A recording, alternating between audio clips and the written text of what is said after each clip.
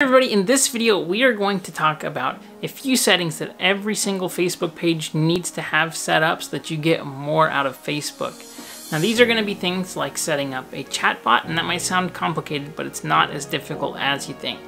So let's get into today's video. These are going to be very helpful tips that you can use to grow your business using Facebook marketing. Hey there everybody, my name is Brandon Breshears. I create daily digital marketing videos here, so if you're looking to grow your brand or your business with digital marketing, be sure to hit subscribe here. If you have any questions, comments, need help with anything, please don't hesitate to reach out.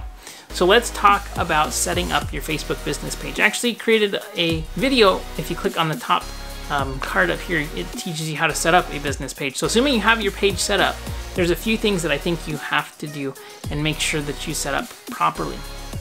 So the first thing that I think that everybody should be doing, and especially because Facebook announced at their F8 conference in, in just a couple weeks ago, so this is 2019 when I'm recording this, but they've announced that they're going to be building their page around a few things. Number one, they're going to be building their page around groups, their app rather, not their page, but they'll be building Facebook around groups and they'll also be building Facebook around Messenger.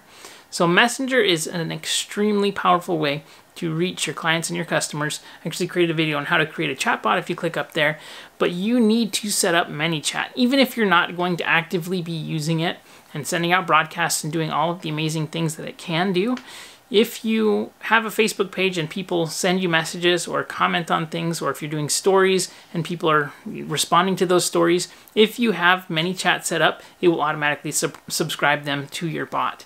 So if people are reaching out and you're using Messenger anyway, especially for businesses, then it just makes complete sense to have ManyChat set up running in the back collecting subscribers. It's only going to benefit you. If you ever decide that you want to send broadcast through Messenger, if you want to set up campaigns through Messenger, if you want to do additional Messenger ads in the future, it makes so much sense. I think ManyChat is the by and far the, the best solution for Messenger I don't have any affiliate products with them or anything like that. I just use them for a bunch of clients. And Messenger consistently can get open rates in the 80s and 90%. That's why Messenger is so powerful.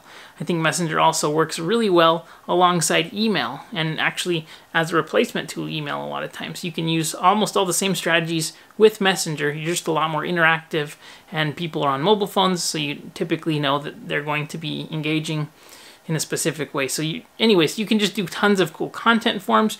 You can do tons of cool automations. It's really simple to set up and easy to use. So I 100% suggest that you go and you sign up for ManyChat. You get it authorized into your page so that you're able to start building that subscriber list.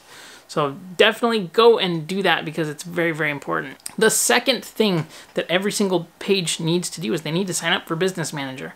It is time to sign up for Business Manager. It used to be that you could have Ads Manager or Business Manager, it didn't really make a difference. But Facebook has made a clear decision that if you want to use retargeting lists and custom audiences that you're going to upload, you have to agree to those terms of service only available inside of Business Manager. So head over to Business Manager.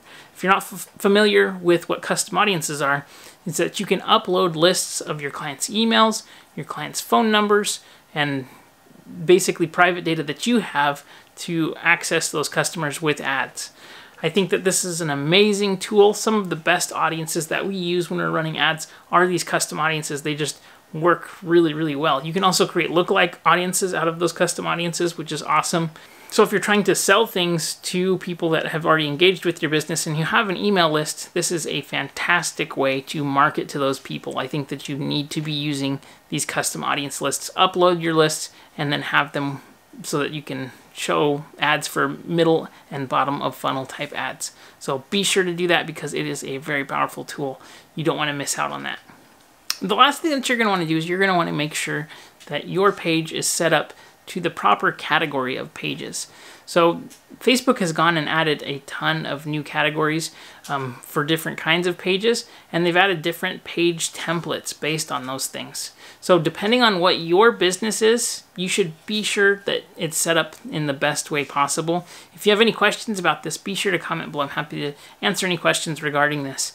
But the way that, that Facebook pages are, the, the features that you can use for the different pages allow you to sell products directly. It allows you to use and highlight product catalogs depending on the type of, of business that you say you are. So make sure it's lined up properly and that you have everything filled out properly. So you need to have all of the pertinent information, your hours, your costs, the services that you offer, stuff like that, so that if you have a product or service that people want to buy, there's a way for them to take action. You can also optimize that call to action that's on the cover photo. And I think this is very important too. So make sure that you are using the correct call to action. So is it a call now, book appointment, um, find more information. What is it that you want them to do to take the next step so that when people visit your Facebook profile for your business, they're able to take the right kind of action? And the last thing that I think is very important is that you consider setting up a group. You can now set up a group that's attached to a Facebook page.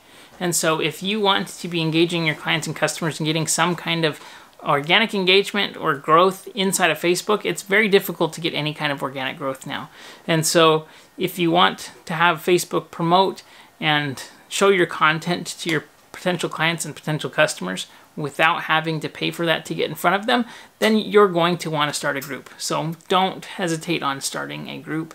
And um, I think that with groups, some of the best ways to grow engagement are just to start conversations around topics that are very important to that group of people.